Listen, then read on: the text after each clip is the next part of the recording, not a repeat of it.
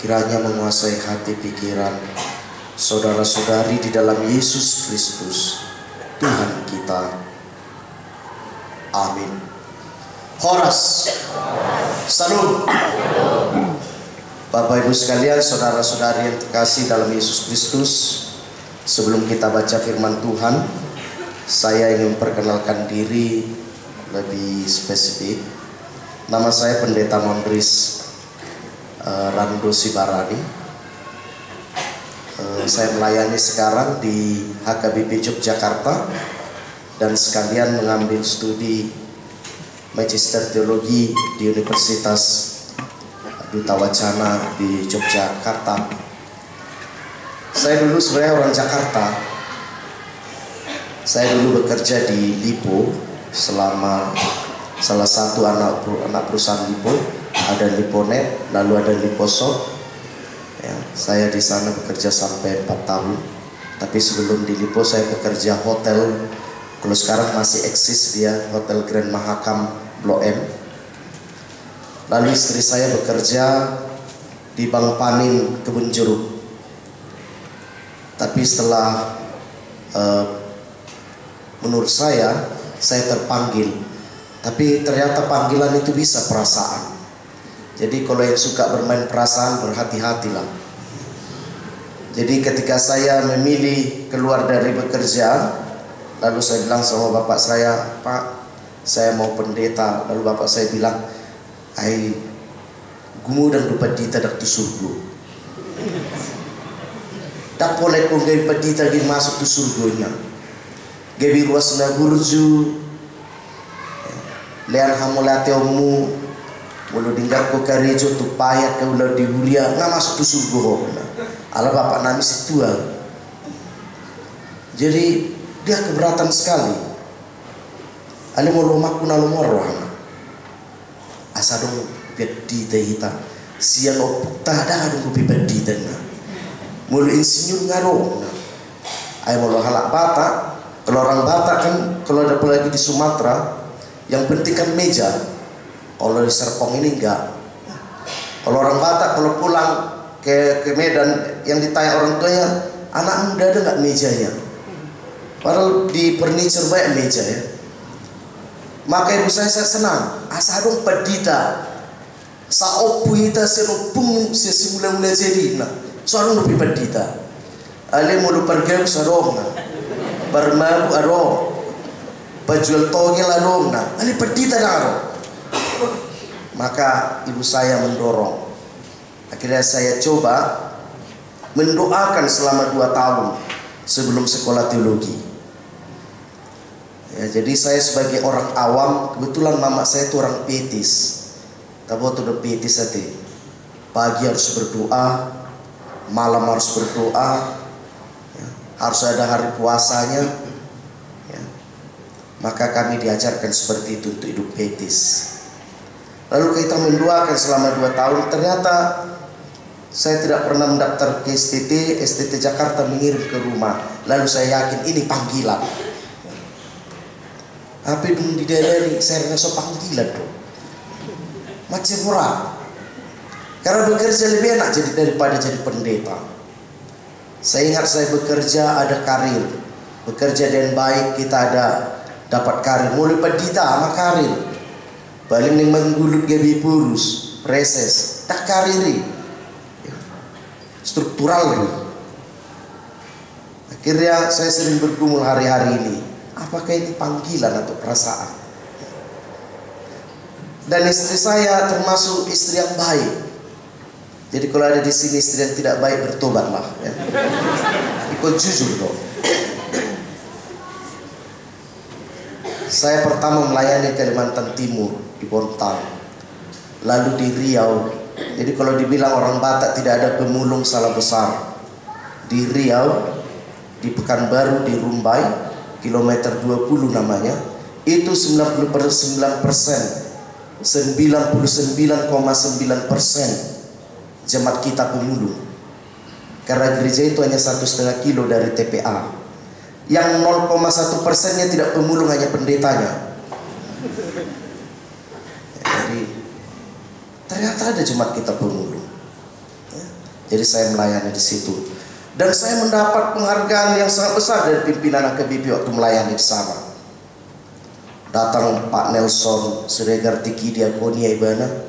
Karena gereja saya rombak jadi penampungan anak-anak. Saya tidak sampai hati melihat anak-anak dibawa ke tempat sampah. Lalu saya, istri saya bekerja di Jakarta, saya di Riau itu, saya buat gereja, saya rombak menjadi tempat penampungan anak-anak. Saya jadi guru TK-nya. Karena saya dulu sarjana bahasa Inggris sebelum uh, sarjana teologi. Dan saya membuat guru TK. Kebetulan istri saya baik. Saya bilang, Uluduho balajomi gaji menggaji guru so baik makna. Jadi saya bayar dua guru TK untuk mengajar. Lalu pimpinan kita datang. Mulu sono du bedi taman tak ma ke bibiuna. Mulu hobi de ma kota mahon. Hape ro SK tutup bak kami kirim. Lalu saya dikirim ke kaki Gunung Leuser. Ya. Waktu abang saya nomor dua di Siantar, saya minta tolong mengantar. Saya tipe pendeta yang tidak mau survei. Olah Roeska berangkat. Ya, jadi kuripu saya pikir pastilah karena dikatakan penghargaan dan daun minimal pinggir-pinggir Medan. Ya. Ternyata enggak. Lalu abang saya mengantar masuk hutan, masuk perkebunan sawit. Lama-lama dia nggak sabar. Ah, lama mula mana? Tanpa bedi tapi masuk itu surguna. Tinggal lama bedi mana. Memang ngeri sekali. Karena itu gunung. Kaki gunung Leso itu gunung, jalannya batu-batuan, tidak beraspal, di pelosok, di pedalaman. Lalu ketika saya sampai akhirnya sampai di gereja itu, saya nangis. Ikosono doa HP Tuhan bayi nomor Mulai saya ragu panggilan. Rumahnya dari bambu, rumah pendeta resort, pendeta resort bro, alias bambu, atapnya dari daun-daun itu, saya nggak tahu dari lalang atau dari apa itu buat mereka. Gerejanya rubuh setengah karena tsunami, tapi tidak pernah dapat bantuan. Hanya sampai saya di pintu rumah itu nangis saya. Tuhan, kalau tidak engkau besertaku, tak tolak esok. Seumur hidup saya baru nangis jadi pendeta di situ. Luar biasa. Yang datang ke gereja hanya 40 orang. Hampir luas 400 kakak. Karena apa? Sebelumnya adong mana hobi akan kan mulai pertanyaan ada udan merjuzi akhirnya maruah sih ah sarupa do HP akan pemilik tidak nak wala itu gereja ya. hanya 40 orang Lalu martanya mau si Tuhan kirim ma suruh-suruhan. Mulai kirim po suruh-suruhan dak tolak pisau. Akhirnya Tuhan mengirimkan malaikat orang-orang baik dari kota. Berduli dengan gereja itu lalu dibangun begitu besar. Karena itu saya pikir saya dibuang ke sana. Ini pembuangan ini. Tapi malah di situ istri saya bilang pas saya telepon ito hasiat ulo sahalak di son ngali ngali mau ulo do kaluar siap panin urupi mau son ya, lalu saya dia balajona sejuta walu ratus bah api ujalo son onong juta empat ratus nah jadi pas aku mau ngali ngali kuma alani onong juta naik. Harus tegas. Lalu dia berkata iya. Lalu dia tinggalkan kerja di bank panen kebun jeruk, ikut ke hutan. Tapi saya pikir semua berjalan baik. Dah apa? Olah seminggu ibadah jam bulan berbeda ulun nami. Murid kuliah lo yang mesra, tapi berbeda. Kenapa? Stres. Di Jakarta lengkap air listrik HP hamil sansian sungai doa air. Wama tubuh Jakarta do. Lalu listrik hidupnya kapan terserah pemilik arus. Stres, berbadai. Jadi mengikut Tuhan, unang tersebut belum berbeda. Kita manusia, belum malaikat, belum Roh Kudus. Tapi saya mengerti dia baik. Saya berbeda-berbeda. Buah manusia saya berbeda, tiga luniba. Jadi jangan terlalu apa kita ya, terlalu sok rohani. Harus saya berbeda. Una panirang-nirang. Akhirnya itulah diri saya. Tapi puji Tuhan di hutan itu Tuhan sangat luar biasa. Ternyata di, Tuhan, di hutan di mana pun kita berada di situ Tuhan ada. Di mana pun kita diutus di situ Tuhan ada. Di mana pun kita sembunyi di situ Tuhan ada. Lalu saya berdoa setiap hari. Tuhan aku tahu aku di sini bukan tempatku ini. Tapi ini tempatmu. Kalau tempat Tuhan di sini, maka ini tempat yang mulia. Kalau tempat Tuhan di gereja ini, gereja ini tempat mulia. Kalau tempat Tuhan di rumah kita, rumah itu rumah mulia. Kalau tempat Tuhan adalah tubuhku, tubuh ini tubuh mulia. Tidak mungkin aku dibiarkan. Tidak mungkin. Dan ternyata Tuhan punya rencana. Banyak orang di sana harus diselamatkan, ditolong, dibebaskan. Secara spiritual, secara pengetahuan, secara teologi, secara hikmat. Karena kebiasaan-kebiasaan membuat orang lupa kebenaran. Maka saudara dan saya sedang diundang Tuhan sebenarnya mau merasakan kehadiran Tuhan di dalam segala perkara kehidupan ini. Tidak pernah kita dibuang. Meskipun perasaan kita dibuang. Tidak pernah kita dibiarkan sendiri. Meskipun ada yang hobinya jomblo ya. Itu pun dia tidak sendiri. Tidak pernah Tuhan biarkan kita sendiri. Kayak itu pergumulan Yesaya juga sama dengan pergumulan kita hari-hari ini. Kalau kita mari baca bersama-sama Yesaya 40 ayat 21 sampai 31, saya undang Bapak Ibu sekalian, saudara-saudari untuk kita membaca secara beresponsoria. Tidakkah kamu tahu? Tidakkah kamu dengar? Tidakkah diberitahukan kepadamu dari mulanya? Tidakkah kamu mengerti dari sejak dasar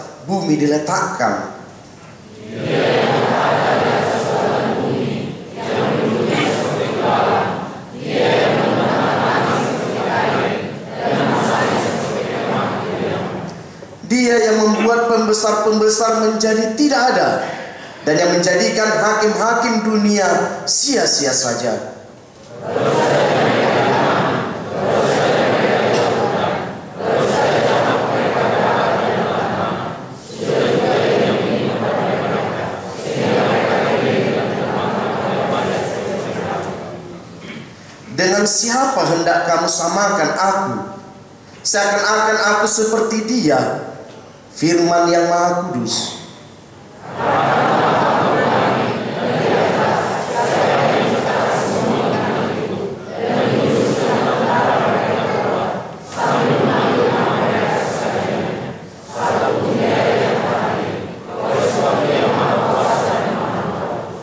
Mengapakah engkau berkata demikian, hai Yakub, dan berkata begini, hai Israel, hidupku tersembunyi dari Tuhan, dan hakku tidak diperhatikan Allahku.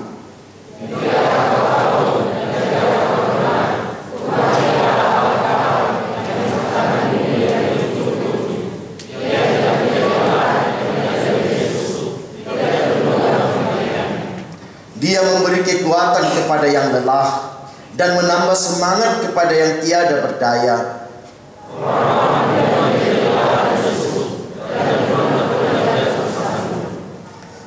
Tetapi orang-orang yang menanti-nantikan Tuhan mendapat kekuatan baru.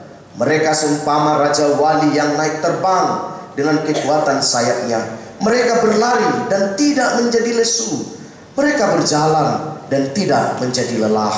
Demikian firman Tuhan. Berbahagia kita yang mendengar serta yang memeliharanya.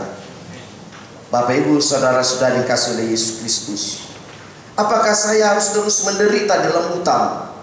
Ternyata Tuhan berkata tidak.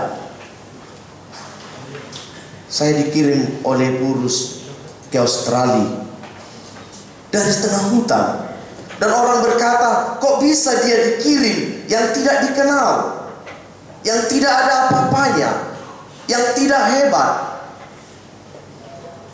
Tapi menjadi utusan HKBP dari tengah hutan kaki gunung. Berarti dalam penderitaan, dalam kesetiaan, dalam tantangan hidup, Tuhan selalu hadir, Tuhan selalu ada, dan Tuhan tidak pernah sembunyi. Kalau kita berkata, kata Yesaya di sini, kalau ada orang berkata kita tersembunyi dari Tuhan, hari ini saya berkata, no, tidak ada yang tersembunyi, dan Tuhan tidak pernah tutup mata. Bukankah kita sudah memestakan perayaan Natal? Yakin saya semua yang di gedung ini merayakan Natal. Bahkan ada yang habis-habisan. Nakari tikian di rebonding ala nyata. Nasoya markebaya markebaya. Bahkan dikatakan selama masa Natal bisnis naik hampir 200 persen. Bahkan salon. Wama sekolah minggu nasoya mar salon dibawa ke salon. Di permak Bukankah semua orang merayakan Natal dengan totalitas, mengeluarkan dana yang besar, energi, pikiran, panitia, panitia merapoti terus. Panitia rapat sambil berbeda. Rapat sambil tersinggung. Rapat sambil sakit hati. Bukankah totalitas ini kita rayakan Natal? Bukankah perayaan Natal itu seharusnya kalau bisnis profit naik 200% di bulan Desember. Apakah profit hapor seau naik 200% setelah Natal? Bukankah peristiwa Natal peristiwa yang sangat nyata bahwa Allah mau turun tangan bahkan campur tangan menjadi serupa dengan kita, menjadi manusia. Allah campur tangan. Maka ini membuktikan Allah tidak pernah sembunyi Allah tidak pernah tutup mata, Allah tidak pernah membiarkan kehidupan kita. Dia telah turun tangan dan campur tangan, bahkan serupa dengan kita, dan kita pestakan, rayakan.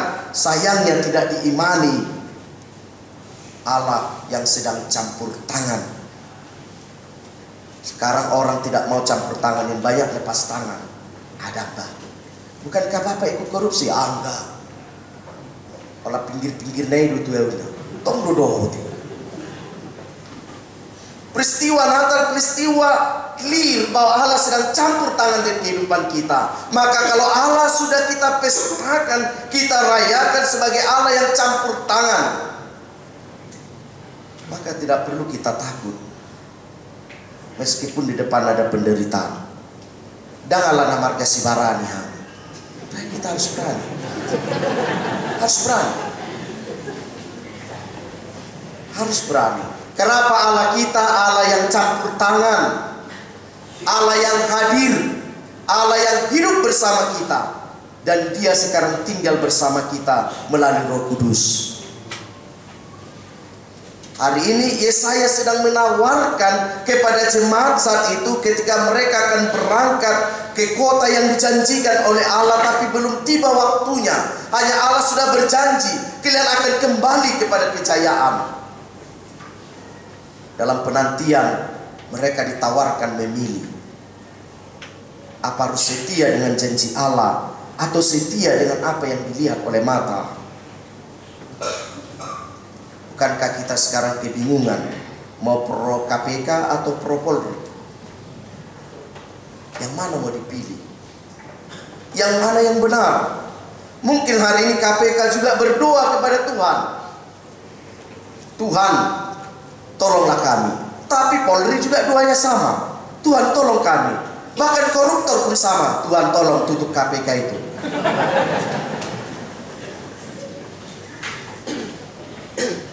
Hari ini kita diajak untuk memilih Allah yang benar.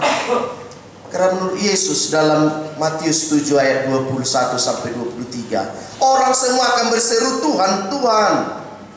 Bahkan orang bisa melakukan banyak mujizat, nubuyatan, bahkan bisa mengusir setan. Tapi Yesus berkata, mereka yang berseru itu belum tentu selamat. Karena apa yang mereka lakukan bukan untuk kemuliaan Allah, bukan kehendak Bapa, tapi kehendak dirinya. Hari ini saudara sedang diundang bersama saya untuk memilih Allah yang mana yang kita sembah. Allah yang mana mau kita ikuti. Allah yang mana untuk kita hidupi bersama-sama. Allah yang sudah berjanji akan menyertai. Yang dia tidak tersembunyi. Bukankah Allah sudah menunjukkan cinta kasihnya yang sangat luar biasa? Dia yang di sorga turun ke bumi Saudara kami pendeta dat kaya rupi tu surga ti. Dan rupi turun tu bumi. Mangida ruas namar said. Namar sa. Kiwida kedua pangar para lalu. Unang-unang pendeta ta. So ito rupi ruas na. Abu ama manada. Ratus samu. Api olah salah liba. Olah ibon lagi hamu hami wiropea. Saudari, ada Allah kita. Allah yang memperdamaikan, yang menyuruh memilih. Supaya kita bisa seperti Raja Wali. Siarannya dikatakan oleh saya kita harus setia menantikan dan mengingat sejarah. Banyak orang lupa dengan sejarah hubungan intimnya dengan Allah. Maka Yesaya menawarkan mari ingat sejarah. Bukankah Allah yang menciptakan langit dan bumi? Bukankah Allah yang membentangkan semua lihat sejarah kehidupan kita? Bukankah Allah yang menghantar kita ke Serpong? Hati adung doi tasyat kuta. Olah mabuan koper saya do ibuan. Api sonari Serpongon. Saratus koper lezer. Api ternyata penjual koper rete. Kita perlu mengingat sejarah kehidupan kita. Tapi sejarah kehidupan kita bersama Allah. Pohado pardongan harta dot debata salilimo. Bukankah kita mengalami dia begitu hebat, begitu berkuasa bergerak dalam diri, pikiran hati kita melalui Roh Kudus, payotok kita. Mengingat sejarah hubungan dengan Allah. Mengingat sejarah penting. Suami istri penting mengingat sejarah. Hati adung naso ngadu babe. Ya, peluasi pacaran, SMS, bang sudah makan lah. Muludung keluarga, masuk mape tahu mesina. Perlu diingat sejarah. Ulang tahun istrinya diingat, itu sejarah. Ulang tahun pernikahan diingat, itu sejarah. Kapan pertama kali mengatakan I love you my darling? Itu sejarah. Tidak soyo biar kayak nangon itu. Alanya ulah bersijebel tu. Ada dia bersejarah. Oleh tidak kamu Ay nga birkiru akay na taon na. Iyo sejarahnya do poso, ya cantik. Kaya margilo. Karena itu ya saya mengingatkan, ayo ingat sejarah dulu. Ada pernah hubungan kita yang sangat baik. Peti Kimar Tadang, pembuat gitar oleh kampungan. Itu, itu wah, buka pitui gitu. HP walang naik marpauku, ngulo berdel, budi ho. Perlu diingat sejarah. Perlu. Ingat sejarah. Ingat sejarah masa-masa romantis ketika kita hidup berat. Saya keluarga orang miskin. Dulu bapak saya orang kaya. Tapi dia seorang yang idealis. Dia dulu bekerja di Caltex di Riau. Caltex itu perusahaan Amerika Serikat. Tapi dia sangat idealis. Ketika banyak buruh dilihatnya tidak diperlengkapi maka dia sendiri yang mendemo perusahaannya. Akhirnya dia dipecat. Dan ini korban anaknya memang. Jadi kalau kami bertanya sama bapak kami, siapa yang ngasih kami makan pak? Tuhan. Yang betul, bapak kami nggak pernah kerja setelah dipecat. Mama kami, ayah tahu, bertani. Ali ami sarjana opat, ami ausat budak. Memang Tuhan Karena itu saya memilih panggilan ini. Karena ternyata Tuhan bisa menyeberangkan orang miskin. Keluar dari kemiskinan. Hanya dengan pendidikan. Perlu mengingat sejarah. Ya ada di Tiki Mamora. Asa seret. Ya ada di Tagale Tiki Gugu. Asa seret. Jadi perlu mengingat sejarah Kamanginan. Sejarah kita perlu kita ingat. Tapi Yesaya sedang mengajak mengingat sejarah tentang Tuhan yang menciptakan sumber segala kehidupan. Tuhan pemberi kehidupan, pemberi kejayaan. Tuhan yang membiarkan mereka di pembuangan tapi Tuhan juga yang akan mengangkat mereka kembali. Itu sejarah Israel. Bukan sejarah apa? Kalau orang Batak sejarahnya Dalian Natulu. Lo dalam natulu mulu susala sopa marhula-hula. Saya yakin tidak ada di antara kita yang tidak jadi hula-hula. Daruk kita nabur terus. Walau dong pecak mesin abata aku ini. Kita semua adalah hula-hula. Kenapa dalam natulu membuat seperti itu supaya orang sadar diri bahwa dia pernah menjadi orang yang hebat tapi pernah juga orang menjadi tidak hebat ketika jadi buruh. Dan dia menjadi orang yang biasa saja ketika dia merdongat tubuh. Supaya kita mengingat sejarah siapa diri kita. Supaya kita tetap ada di dalam kelemah lembutan, ada di dalam kesabaran, ada di dalam kuasa buah-buah roh ketika kita mengingat sejarah isi doa sebagai alat bata. Hula-hula si pemberi guru si penerima. Ada waktu yang kita memberi dan ada menerima. Ada waktu yang kita bekerja, ada waktu yang istirahat. Maka diundang saudara dan saya mengingat secara, tapi yang paling utama adalah secara bersama Tuhan. Yang ketiga diundang kepada kita untuk belajar menanti. Waiting is boring katanya. Menanti itu membosankan. Tapi lebih berbahaya kalau tidak ada yang dinantikan. Gakari sebulan dah janji gajian matanggal seredena. Kari jo torusna. Dia gajian martanya yang hoisina. Kalau do yang dinantikan tanggal berapa? Boto oma mengatur, berencana. Maka menanti-nanti Tuhan adalah menciptakan semangat sukacita, kekuatan bagikan burung Raja Wali. Saudara dan saya sedang diundang untuk menantikan Tuhan di dalam tengah-tengah kekacauan bangsa kita. Bukan untuk takut, tapi menantikan Tuhan. Sekarang semua kacau. Ketika saya di Langkat, ada seorang anak. Sekarang orang tua takut menegur anaknya. Ketakutan merajai kita. Ketika saya di Jogja, seorang tua berkata, Amang, gimana anakku ini? Kalau ditegur, dimarahin nggak pulang. Akhirnya takut mereka menegur anaknya, takut nggak pulang rumah. Kalau di luar rumah nanti jadi anak pang. Tapi kita sudah dua anak pang ate, panggaro.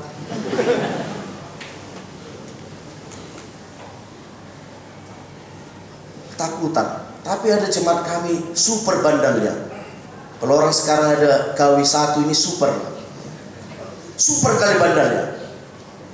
Masuk murti waktu dia kelas 3 SD anaknya ini minta jajan sama bapak ya pak kasih jajan. Datang bapak ya gak ada jajan. Pulang jajan belum. Kasih jajan pak. Gak mau kata bapak. Ku bakar rumah kita katanya gak main-main anak ini super bandar datang bapak ya coba lah kalau berani langsung diambilnya minyak lampu kalau di Sumatera namanya minyak tanah minyak lampu langsung diambil mana yang dilemparnya ke rumah yang bakar saking bandalnya. Tapi sebandal apa pun anak ibu tetap sayang. Ini lagi berlebihan ibu ini. Jadi suatu hari bermainlah anak yang bandal ini. Setiap muladung warna sinandu isu nanti memang kesinandu agak bandel muda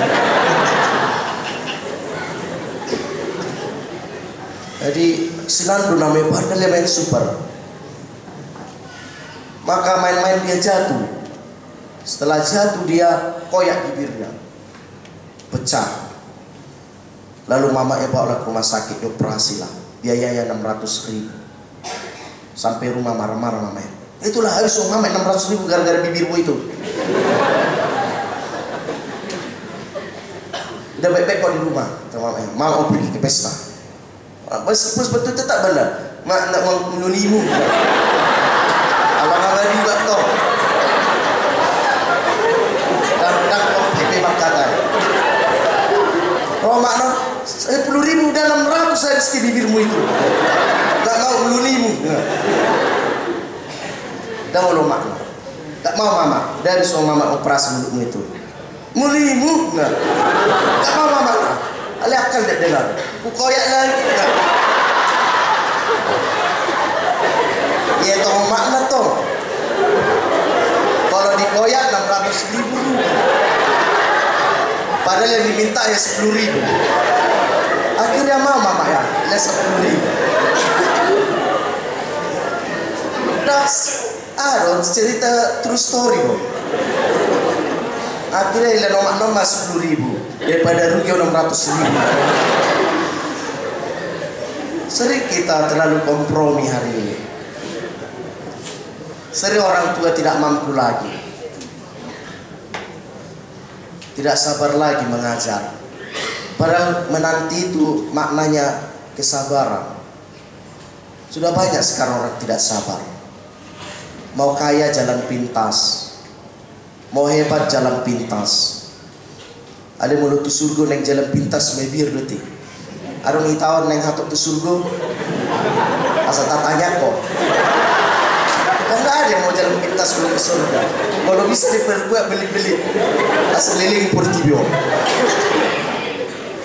Kesabaran suruh menanti-nanti itu bagikan burung Raja Wali. Orang yang menanti Tuhan bagi burung Raja Wali. Orang yang mau sabar. Maka kita sedang diundang untuk beriman hari ini, beriman yang benar, bukan beriman yang bermimpi, bukan beriman yang berfantasi, bukan beriman yang hanya semua terjadi dan instan, tapi Tuhan mau kita sabar. Ketika ada peristiwa yang buruk, jangan kita cepat menghakimi peristiwa itu. Bahkan ketika saudara kita buruk, jangan dihakimi.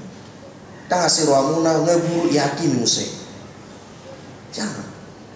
Bukankah Yosua pernah Yusuf pernah berkata pada saudara-saudaranya, kalian mereka-reka yang jahat tapi Tuhan merubah itu menjadi kebaikan.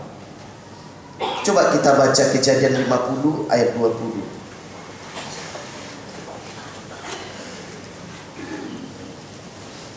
Kejadian 50 ayat 20.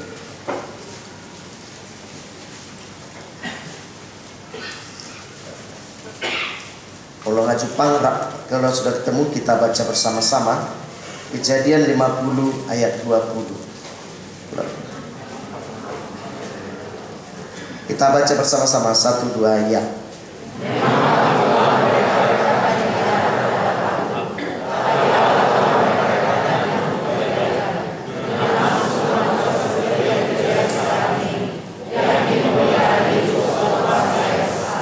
Memang kamu mereka-reka yang jahat. Dunia ini mungkin merencanakan yang jahat terhadap kehidupan kita.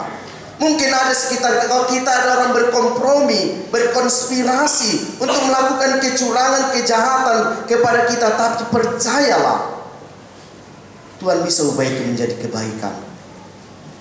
Karena ada makna di baliknya kata Tuhan untuk menolong orang lain supaya kita menjadi berkat. Sedang diundang untuk sabar melihat setiap perkara. Tidak buru-buru memberi pandangan. Tidak buru-buru memberi pendapat. Tidak buru-buru memutuskan. Menghakimi setiap peristiwa ini. Supaya sabar. Orang mereka-mereka yang jahat kata Yusuf. Tapi Tuhan mengubah itu untuk kebaikan. Tapi kita susah. Hatop saya dulu pihatan halak tuh lima tahun tahun. Sabar. Tapi orang yang menanti-nanti, orang yang sabar, dia bagaikan burung Raja Wali yang terbang tinggi terus mengatasi badai. Dia tidak diseret oleh badai, tapi dia terbang melampaui badai. Kenapa dia harus mengepakkan sayapnya? Kita harus menggerakkan potensi kita supaya bisa kita terbang tinggi. Kesabaran bukan arti berdiam, kesabaran adalah menggerakkan, menggali, menguji semua potensi yang kita miliki, mengepakkan sayap. Dalam martanyani, apa potensi yang kita miliki supaya kita bisa seperti Raja Wali terbang tinggi? Apa kemampuan kita, talenta, bakat, kelebihan yang dikaruniakan Tuhan supaya kita pakai gali maksimal. Lalu kita berkata, aku sudah memakai talenta yang Tuhan berikan. Amanginan, saya beranikan kuliah S2 di Yogyakarta. Bukan karena saya punya uang. Tapi saya ingin menguji talenta saya berapa Bukan karena saya cerdas. Tapi saya perlu menggali berapa talenta yang Tuhan berikan kepada saya. Kalau 10 sudah berapa yang saya pakai? Suatu ibu Tuhan ini. Kepada kita dikaruniakan begitu banyak talenta. Sudah berapa persen talenta itu kita pakai? Untuk kemuliaan Tuhan melalui karya kita. Melalui perbuatan cinta kasih kita maka kita harus maksimal. Coba kita maksimalkan diri kita. Lalu Tuhan akan berkata, kaulah yang baik. Karena sepuluh talenta yang kuberikan kepadamu, engkau gandakan. Atau kita sedang menanam talenta-talenta itu. Tidak kita kepakkan dia seperti sayap burung Raja Wali. Membuat kita terbang tinggi menjadi berkat bagi orang-orang yang di bawah.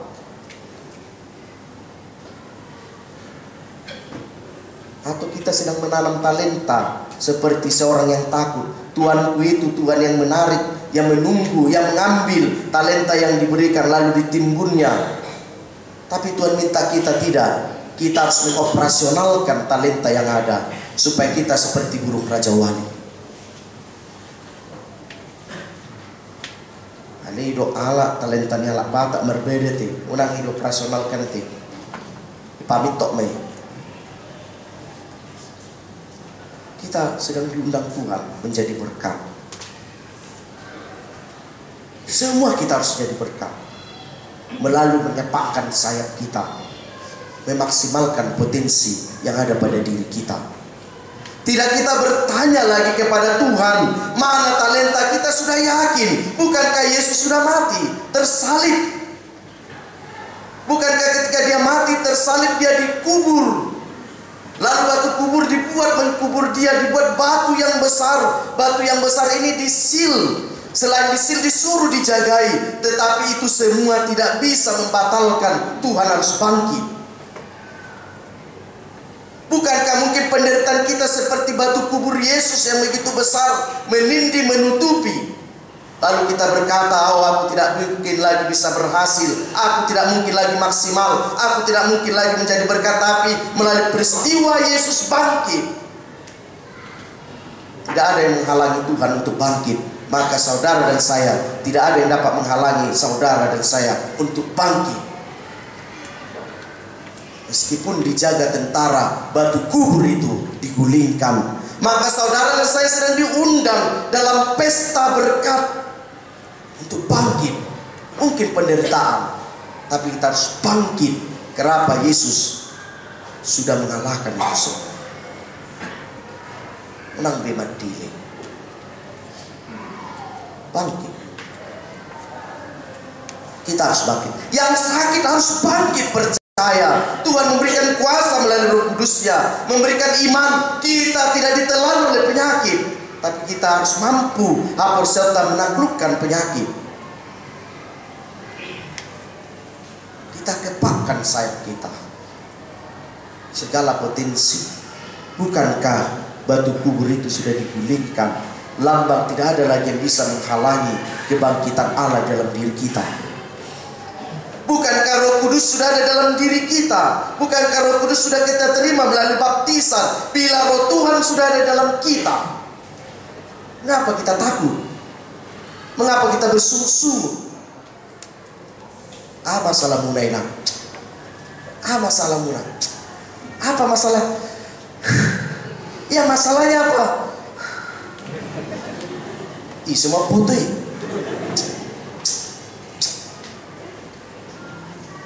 Yesus sudah bangkit. Dan Roh Kudus sudah ada di dalam kita. Seharusnya kita hidup dengan damai sejahtera.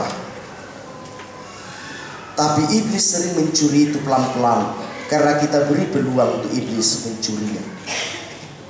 Sebenarnya semua orang yang percaya sudah beroleh karunia Roh Kudus. Kita semua sudah beroleh Roh Kudus. Memampukan kita menilai kebenaran kehidupan supaya kita seperti Raja Wali. Odo dibagi doni bata supaya kita semua hidup dengan damai, dengan sejahtera. Kenapa kita adalah orang-orang yang beroleh kasih karunia? Kita diciptakan bukan menjadi sumber penderitaan, tapi kita diciptakan menjadi terang dan garam. Membawa terang bagi yang gelap, membawa garam bagi yang tawar, membawa sukacita bagi orang yang menderita. Seperti apa pun saudara bisa dipakai. Dan itu yang saya percayai. Karena itu saya memilih menjadi pendeta. Janganlah dikegantengan. Jadi mau ganteng peotik mau lihat ya. Tapi bukan karena itu. Bukan karena kekayaan. Apa yang ada itu yang kita beri. Itu lebih besar memberikan yang terbaik. Karena itu saya mencoba sekolah S2. Bukan karena saya memiliki kecerdasan, kemampuan ekonomi. Bukan. Karena saya harus menggali maksimal apa yang terbaik dariku untuk kuberikan kepada pelayanan bagi kemuliaan Tuhan. Luasnya kebibi nggak udang doktor. Abi pendidikan olah iseda. Ibi soya macam buku. Abi buku nengah kedolar saya dijadi tahu bamarlau meruasna. Maka kita harus menggali potensi. Kenapa Tuhan sudah mempercayakan perkara yang sangat luar biasa. Jemaat. Untuk digembalakan. Untuk semua memasuki gerbong damai sejahtera. Bapak ibu sekalian saudara-saudari kasih oleh Yesus. Mari bangkit. Seperti Raja Wali. Kepakkan sayapmu. Gerakkan potensimu. Gali kemaksimalanmu supaya kita menjadi berkat bagi semua orang dalam keadaan apa pun. Amin. Mari kita berdoa. Bapa surgawi, Bapa sumber hidup, sumber berkat dan sumber cinta dan kasih. Engkau sudah menganugerahkan kepada kami kebenaran, keselamatan melalui Yesus Kristus Tuhan kami. Hikmat pengetahuan melalui kuasa Roh Kudus supaya kami hidup dalam cinta kasih, hidup dalam kedamaian, hidup dalam pengharapan. Karena Tuhan yang kami sembah, Tuhan yang nyata, yang hidup, yang tidak pernah sembunyi dari kami. Bapa, kami mohon padamu, kasihanilah kami satu persatu. Berkatilah setiap jemaatmu Tuhan, setiap usaha, pekerjaan, rencana masa depan mereka. Tuhan, kami mohon kasihani jemaatmu supaya mereka menjadi berkat, menjadi penolong bagi orang yang membutuhkan. Tuhan berkati mereka. Kami doakan jemaatmu Tuhan yang sedang sakit, yang terus menjerit, berseru, berdoa memanggil namamu. Tuhan, bermurah hatilah engkau memberikan kesembuhan. Bermurah hatilah engkau Tuhan berikan pertolongan Tuhan, kasihani jemaatmu. Sembuhkanlah menurut rencana dan kemurahanmu. Kami doakan Tuhan seluruh keluarga. Berkati setiap rumah tangga dengan sukacita, keromantisan, pengharapan kesabaran, penantian dengan pertolongan dari Tuhan. Berkati setiap rumah tangga HKBP di Serpong ini Tuhan supaya rumah tangga menjadi berkat bagi semua orang. Kami doakan setiap anak yang Tuhan karuniakan kepada setiap keluarga. Tuhan memberkati mereka dengan hikmat, dengan kecerdasan. Tuhan berikan kepada mereka kecerdasan, roh yang takut akan Tuhan dan cinta kasih kepada orang tua. Tuhan tolonglah mereka. Kami doakan setiap keluarga yang sedang menantikan pertolongan Tuhan mendapatkan anak keturunan. Tuhan berkati setiap rahim, Berikanlah kepada jemaatmu yang menanti-nanti keturunan. Berikanlah Tuhan. Kami doakan bagi jemaatmu yang sedang mencari pekerjaan. Tuhan berikanlah pekerjaan supaya mereka hidup dengan sejahtera yang daripadamu. Kami doakan Tuhan yang sedang bergumul dengan kehidupannya, sedang menderita, berduka cita. Tuhan kiranya menghiburkan. Kami doakan HKBP Serpong dengan segala pergumulannya. Biar Tuhan segala program sungguh untuk kemudian Tuhan. Sungguh diimani, dilakukan dengan iman percaya bahwa pertolongan kami datang hanya dari Tuhan. Terima kasih Bapak. Berkati para pelayan tua keluarga anak mereka. Berkati para pendeta yang Tuhan telah utus supaya menjadi berkat bagi jemaatmu. Dalam nama Yesus, kami berdoa bersyukur bahkan percaya Tuhan mengasihi kami melampaui apa yang kami rasakan. Amin.